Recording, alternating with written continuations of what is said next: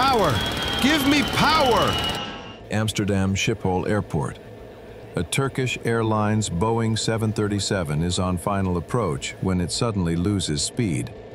Less than two kilometers remain to the runway, but the aircraft enters a stall. Will the pilots manage to save the situation? What's happening inside the cockpit? And why is a modern airliner in distress? Today we will reconstruct the events and find out what really happened and how this incident changed the aviation industry forever. Ataturk Airport, Istanbul, Turkey, February 25, 2009. A passenger aircraft, a Boeing 737-800, operated by Turkish Airlines, is preparing for scheduled flight 1951 from Istanbul to Amsterdam. A total of 135 people board the aircraft, 128 passengers and seven crew members. In the cockpit, in the left seat, sits Captain Hassan Tahsin Arasan, 54 years old. He is considered a highly experienced pilot within the airline, having nearly 13 years of service and over 17,000 total flight hours, 10,885 of which are on the Boeing 737. In the right seat is 42-year-old trainee first officer Murat Sezer. He has only 44 flight hours on the Boeing 737, and therefore the experienced Captain Arasan will be conducting his training through all stages of the flight. In the jump seat sits 28-year-old First Officer Olgay Özgür, whose task is to monitor the trainee's progress and assist the captain when needed. At 8.22 a.m. local time, the crew receives takeoff clearance from the tower, and the Boeing 737 lifts off from the runway of Ataturk Airport, heading toward Amsterdam. The flight from Istanbul to Amsterdam proceeds smoothly, without any irregularities. The aircraft follows its route over Eastern Europe, crosses Germany, and enters Dutch airspace. First Officer Sezer, as a trainee, is flying the aircraft under the supervision of Captain Arasan, a standard procedure in pilot training.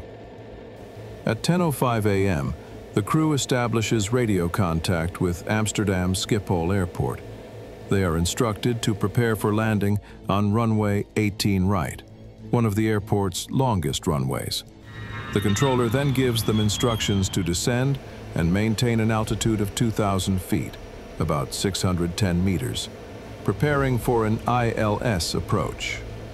ILS, the Instrument Landing System, is a radio navigation system that allows precise landings in low visibility conditions.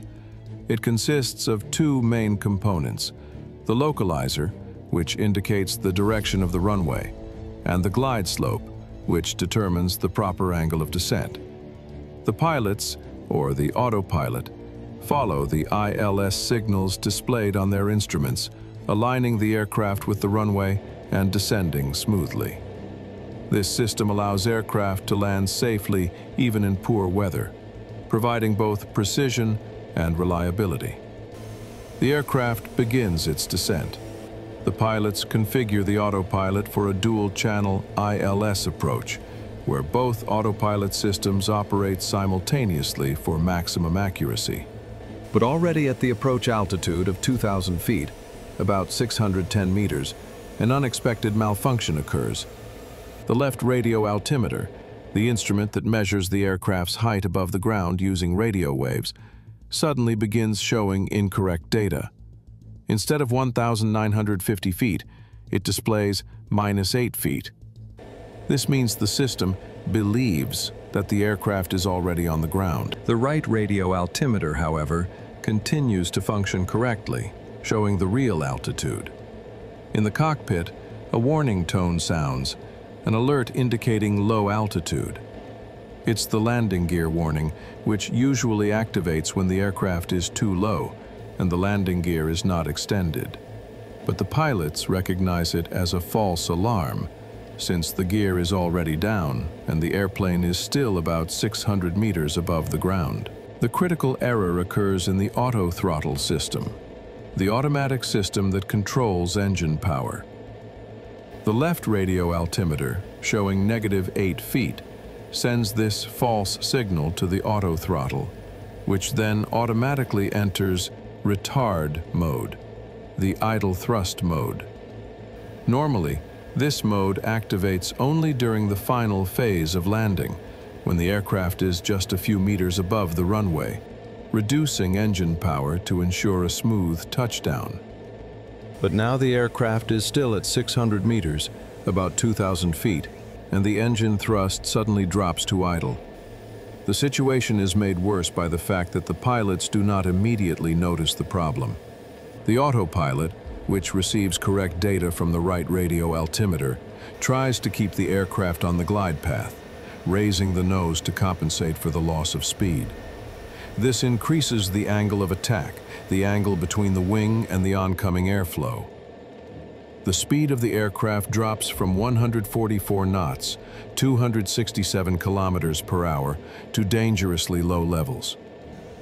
The trainee pilot is still the one flying the aircraft. At 10.26 a.m., the airspeed falls to a critical 110 knots, below the safe threshold. In the cockpit, the stall warning sounds and the control column shaker activates. All signs indicate that the aircraft is about to lose lift. Captain Arasan immediately takes control and shouts, Power! Give me power! The pilots push the throttles forward, trying to increase engine power. But the engines, which had been at idle, cannot accelerate fast enough in such a short time. The aircraft enters a stall, a condition in which the wings lose lift due to an excessive angle of attack. The nose drops, and the airplane plunges rapidly toward the ground, Seconds later, the Boeing 737 crashes into a field about 1.5 kilometers, 0.9 miles, short of runway 18 right. The impact occurs at a speed of approximately 175 kilometers per hour, 109 miles per hour. The fuselage breaks into three sections, and one of the engines tears away from the wing. Fortunately, the fuel does not ignite, preventing a post-crash fire. The crash site, a field in the polder area not far from the highway, looks horrific. Wreckage is scattered across hundreds of meters. The first rescue teams arrive within minutes. Of the 135 people on board, nine die instantly. All three pilots, one flight attendant, and five passengers. 84 people are injured, some of them seriously. Survivors describe the sudden drop and the massive impact, but many remained calm, helping one another escape the wreckage. Schiphol Airport temporarily suspends operations to investigate the cause of the disaster. Soon after, investigators from the Dutch Safety Board arrive at the scene, together with specialists from the U.S. National Transportation Safety Board, NTSB, since the aircraft was American-built. The Commission now faces a difficult question. Why did a modern jetliner crash on approach just a few kilometers short of the runway? Was it pilot error or a mechanical defect? The investigation begins immediately. Investigators recover the black boxes, devices that record both the aircraft's system data and cockpit conversations. Analysis reveals that the failure of the left radio altimeter played a key role in the crash. The radio altimeter had been transmitting incorrect data, minus 8 feet, and this false reading was used by the auto-throttle system. As a result, the auto-throttle reduced engine thrust, leading to a loss of airspeed. But why didn't the pilots notice the problem? The investigation identified several contributing factors. The first, the human factor. The pilots were occupied with approach preparations and may have ignored the repeated low-altitude warnings, assuming they were false alarms. Captain Arasan, as an instructor, may have been distracted by monitoring the trainee pilot, Sezer. In addition, the crew failed to monitor the airspeed, a key flight parameter that must always be controlled, even when the autopilot is engaged. The second factor was the technical failure, the left radio altimeter did not register its own malfunction, so the aircraft systems interpreted its incorrect readings as valid. The investigation revealed that similar radio altimeter failures had occurred on the same aircraft twice in the previous eight landings. In those cases, the flight crews managed to correct the problem manually, by disconnecting the auto throttle and increasing engine thrust themselves. So why wasn't the problem corrected this time? Investigators found that Turkish Airlines had not removed the radio altimeter for maintenance, and Boeing had not provided clear operational guidance on how to respond to such failures. The third factor was a design flaw. The Boeing 737-800's auto throttle system relied on data from only one radio altimeter, without any redundancy. If the system had compared the readings of the left and right altimeters, the error could have been detected. Moreover, the pilot manuals contained no procedures for dealing with a radio altimeter malfunction during flight. The investigation also revealed that Boeing and U.S. regulators, including the Federal Aviation Administration, FAA, had pressured Dutch authorities to soften the criticism directed at the manufacturer. In 2020, the New York Times reported that the initial draft of the Dutch Safety Board, DSB report contained much stronger conclusions about Boeing's design flaws but those findings were toned down after intervention from the American side.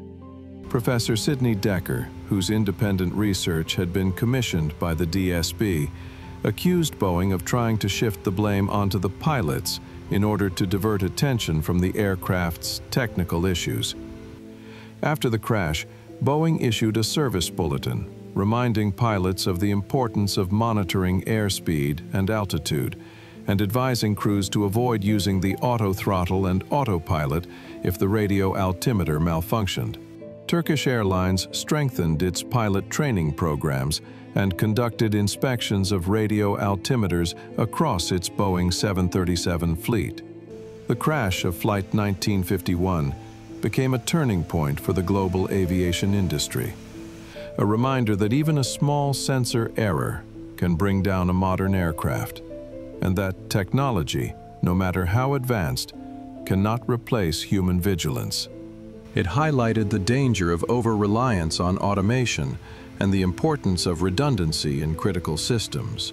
In the aftermath, Boeing revised its procedures for radio altimeter testing, and airlines around the world enhanced crew training to better prepare pilots for non-standard and emergency situations.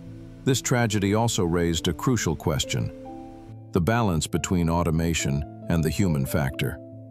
Modern aircraft are equipped with complex systems that greatly assist pilots, but at the same time can create a false sense of security. Pilots must always be ready to take manual control at any moment, especially when the automation fails.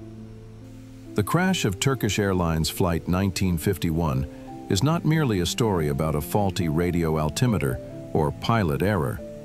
It is a reminder that aviation safety depends on many factors. The reliability of technology, the quality of crew training, the transparency of manufacturers, and the strict oversight of regulators.